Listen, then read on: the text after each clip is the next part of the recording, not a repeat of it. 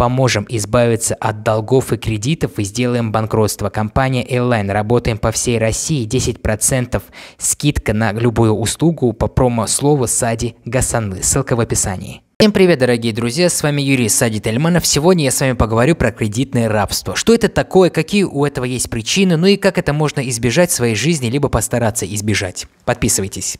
Я могу дать объективные рекомендации, поэтому есть ряд привычек, которые помогут вам в жизни этого кредитного рабства избежать. Первое. Учитесь, пожалуйста, жить по средствам. Это очень заезженная фраза, но мало кто ее разжевывает. Что значит жить по средствам? Дело в том, что жить по средствам не так-то и просто, как кажется, потому что мы живем в мире маркетинга, где различные товары, услуги навязываются очень необычными способами. И понять, что тебе действительно в этой жизни нужно, а что нет, крайне сложно. И поэтому для начала, чтобы определить, как это жить по средствам, нужно сначала понять, а что конкретно и какие средства мне конкретно в жизни будут нужны. Потому что можно ездить на какой-нибудь Kia а можно ездить, к примеру, на Майбахе. Вроде бы и там, и там средства передвижения, но с другой стороны, один стоит под 15 миллионов, а другой миллион рублей. Разница в 15 раз. Но и там, и там, в принципе, ты получаешь средства для передвижения. Поэтому, прежде чем научиться жить по средствам, нужно для себя честно ответить, на какие средства мне, в принципе, хватит моих денег, чтобы их иметь.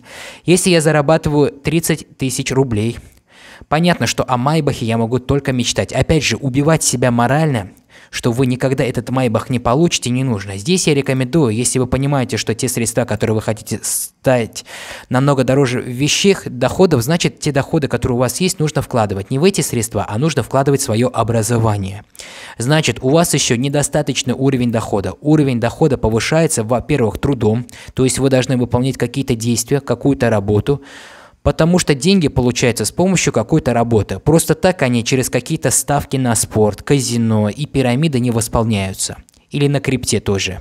Деньги зарабатываются, и для начала вам нужно повышать свою компетенцию, получая знания и умения. А чаще всего это требует денег, то есть какие-то обучающие курсы, какого-то наставника. Или вы хотите поработать или попробовать себя в какой-то другой новой бизнес-среде, тогда вложите деньги в это. То есть посредством, как любят говорить, нужно начинать жить только тогда, когда ваш уровень дохода уже соразмерен с тем, что ты уже хочешь, и при этом ты можешь не брать кредит на этом, если зарабатываешь 200 тысяч рублей.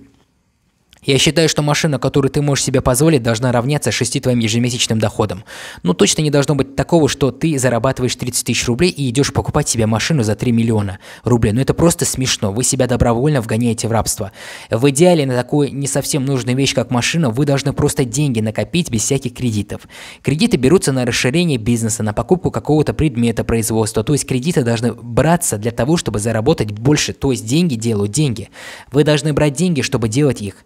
Первое правило – это живи по средствам. Хочешь предмет роскоши какой-то, купи, накопи. Если ты не можешь на него накопить за достаточный период времени, который тебя устраивает, значит, это не твой предмет роскоши. Пока у тебя не хватает доходов, значит, увеличивай свои знания, компетенции, работоспособность, нанимай других людей. Вкладывай свое развитие. Как только твои доходы уже достигнут того уровня, когда ты себе можешь позволить предмет роскоши, который ты хочешь, вот тогда покупай. Второе правило фундаментальное – кредиты. Мы берем, чтобы делать деньги. Деньги делают деньги и мы не берем кредит, чтобы купить машину покруче, от нее нету смысла. Вы на ней не заработаете. Кредит не нужно брать, чтобы вложиться в финансовую пирамиду. Или ставки на спорт, где гарантия, что вы здесь заработаете, если есть, 99% просирает деньги. Это открытая статистика. Кредиты не берутся для того, чтобы съездить в Турцию. Отдохните пока где-нибудь на даче у себя. Есть дела поважнее, нужно вам наладить нормальные источники дохода. Если вы себе даже не можете позволить отдых в Турции, не надо на это брать кредиты. Третье Последнее правило – это, конечно же, финансовая грамотность. Часто кредиты берутся из-за возникновения стрессовых ситуаций, и люди от этого начинают идти в банки. Кому-то не повезет, те в инфо, потому что в банках им не дают. Ну и вот здесь самое настоящее кредитное рабство. В общем-то и начинается Поэтому надо формировать какие-то резервы, нужно учиться откладывать, и неважно, какой у вас доход. Здесь самое главное сделать привычку откладывать. Не имеет значения вообще, даже если вы зарабатываете 15 тысяч рублей в месяц, ничего страшного. Отложите хотя бы 500 рублей. Вы можете это сделать и не думать о них вообще. Сформируйте себе эту привычку, даже если вы будете откладывать по 500 рублей. У вас за год скопится порядка 6 тысяч рублей. С такой зарплаты вы уже половину своей зарплаты отложите, это неприкосновенный запас. Через год вы начнете зарабатывать за 20 тысяч, откладывайте уже тысячу рублей. Эти деньги вы можете перевести в доллары или во франки швейцарские. У вас уже есть запас, вы же не просто какой-то раб, который теряет работу и остается без денег, вы уже имеете какую-то свободу. Запомните, деньги это свобода. Если вы потеряли работу и есть запасы на полгода жизни, вы не раб, вы свободный человек, вы можете спокойно восстановиться, отдохнуть, пойти найти новую работу спокойно. Вот эти три простых правила вам помогут не попадать в кредитное рабство. А с вами был Юрий Сади Тельманов. Если вам нужна помощь с кредитами, то пишите мне.